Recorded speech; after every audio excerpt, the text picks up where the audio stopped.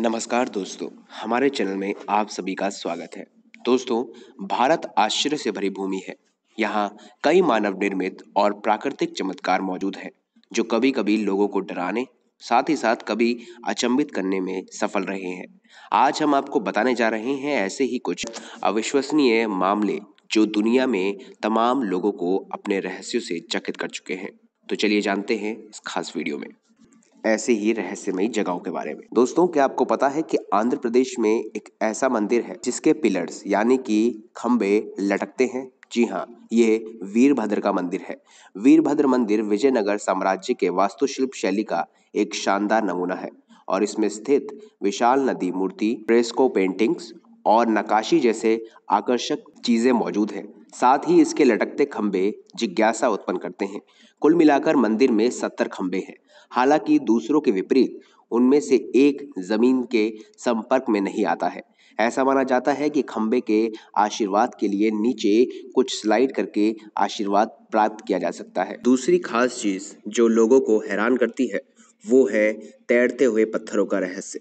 जी हाँ हिंदू पौराणिक कथाओं में यह वर्णन है कि रावण से अपनी पत्नी सीता को बचाने के लिए भगवान राम ने रामेश्वरम से एक फ्लोटिंग पुल, यानी कि तैरते हुए पुल का निर्माण किया था, जो कि पाक स्टेट में श्रीलंका तक बनाया गया था। यह पुल राम सेतु या फिर एडम ब्रिज के रूप में जाना जाता है। चौंकाने वाली बात यह है कि इस क्षेत्र के आसपास पाए जाने वाले पत्थर आज भी समुद्र में तैरते हैं।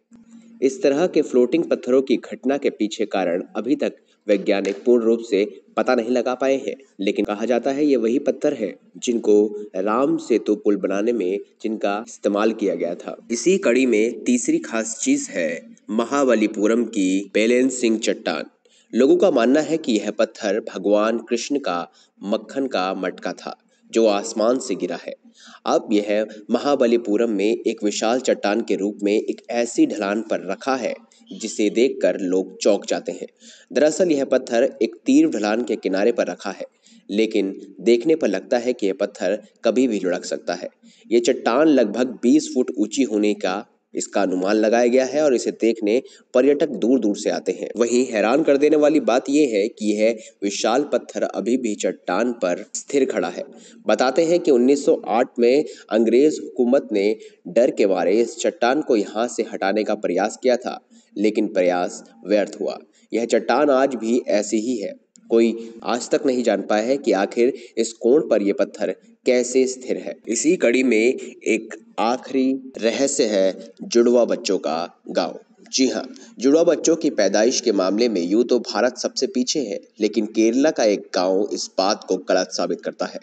ये भारत का एक अकेला ऐसा स्थान है जहाँ सबसे ज़्यादा जुड़वा बच्चे पैदा होते हैं। मलपुरम ज़िले के कोडिनी इलाके में न जाने क्या अजीब बात है।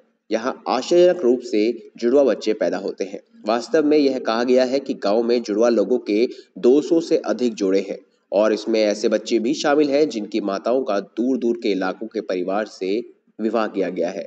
हालाँकि डॉक्टरों का मानना है कि इस क्षेत्र के पानी में कुछ रसायनों की मौजूदगी से ऐसी घटना हो सकती है। हालाँकि वास्तविक कारण अभी तक स्पष्ट नहीं हो पाया है और वैज्ञानिक अभी भी इस बात की पुष्टि और अध्ययन में लगे हुए हैं। तो दोस्तों, अगर आपको हमारी ये खास जानकारी अच्छी लगी हो तो इस वीडियो को लाइक कीजिए, हमारे चैनल को सब्सक्राइब कीजिए और इसे ज़्यादा से ज़्यादा शेयर भी कीजिए। धन्यवाद।